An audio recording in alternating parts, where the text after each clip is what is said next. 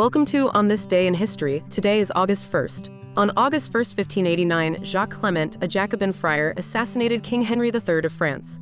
Henry died the next day after acknowledging his Bourbon ally, Henry of Navarre, Henry IV, a Huguenot, as his successor. On August 1, 1936, Jesse Owens silenced Adolf Hitler's claims of Aryan supremacy by winning four gold medals in track and field competitions in the Summer Olympics in Berlin. Nazi Germany's leader Adolf Hitler only shook hands with the German victors and left the stadium. On August 1, 1994, a ferocious typhoon packing winds of up to 137 kilometers per hour, or 85 miles per hour, hit Taiwan, claimed the lives of 10 persons, injured 41, severed power lines, and blew down hundreds of trees. And there you have it, August 1st, a day of historical significance, a triumph for humanity, and a disaster.